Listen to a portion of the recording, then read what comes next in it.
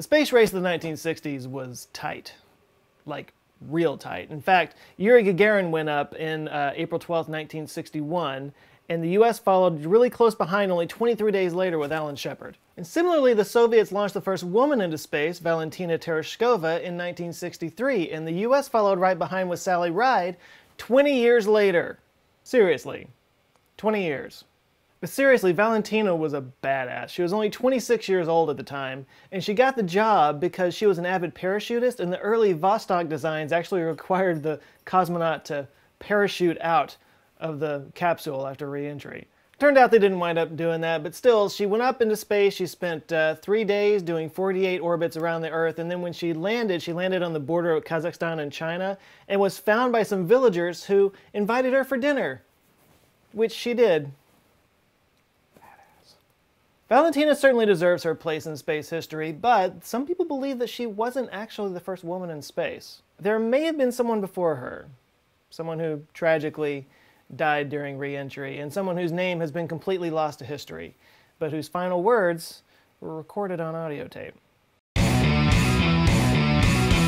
Sputnik went into orbit in 1957, panic ensued throughout the Western Hemisphere. For the first time, there was a Soviet communist presence in space above us. Turns out there wasn't really anything to worry about with Sputnik anyway. All Sputnik really did was just send out a, a message, a little beep, through a radio signal that the Soviets actually published and anybody could go and listen to.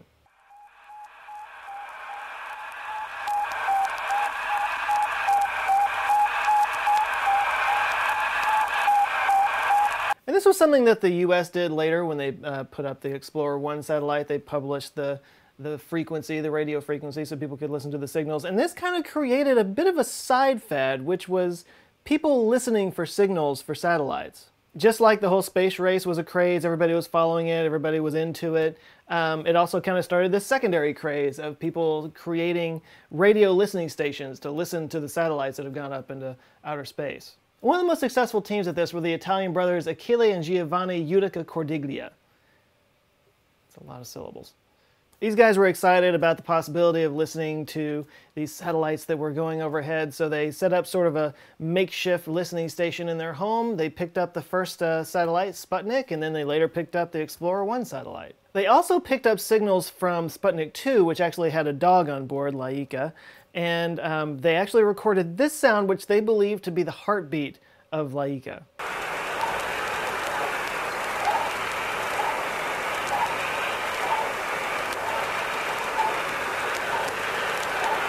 Their success at capturing and recording some of these satellites actually got them a little bit of fame around their, their hometown there, and they, they used this fame to invest a little bit of money into actually buying an old World War II concrete bunker and setting up their own listening station there that they called Torre Bert. And at Torre Bert, they did some groundbreaking radio listening stuff. They actually were able to figure out how to calculate the direction and speed of a satellite by measuring its Doppler effect, the shift in the Doppler effect as the satellite passed overhead. And along the way, they also captured some very strange and unexpected signals. On November 28, 1960, they picked up the signal of an SOS, which is the International Distress Call.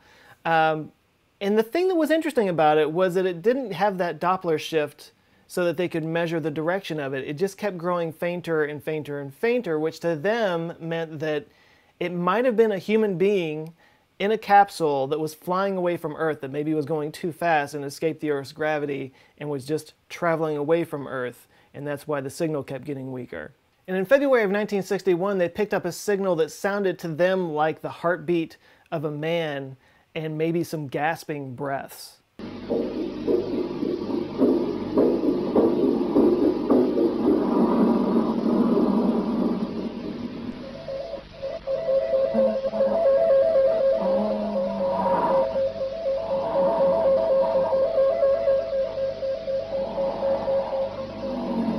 What's interesting about those recordings, both of those took place on the same day and from the same you know mission that they believe that they captured. But right after that, the Soviets announced that they did have an unmanned craft that crashed in the Soviet Union.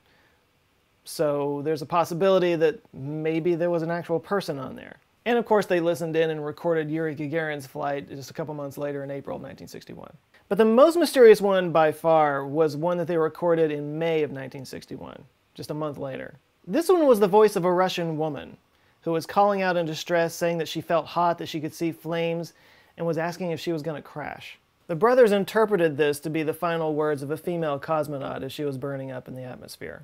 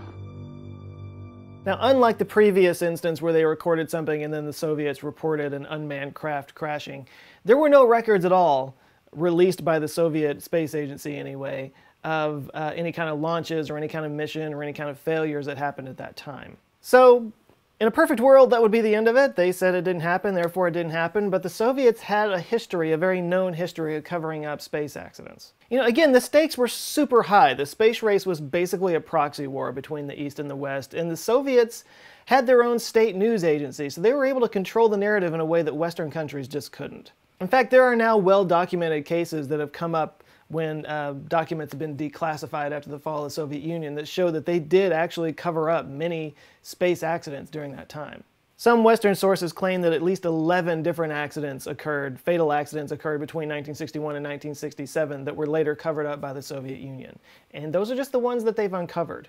We also know that the Soviets had painted some cosmonauts out of official pictures, which is something that was done back in Stalin's regime when they wanted to erase somebody from history.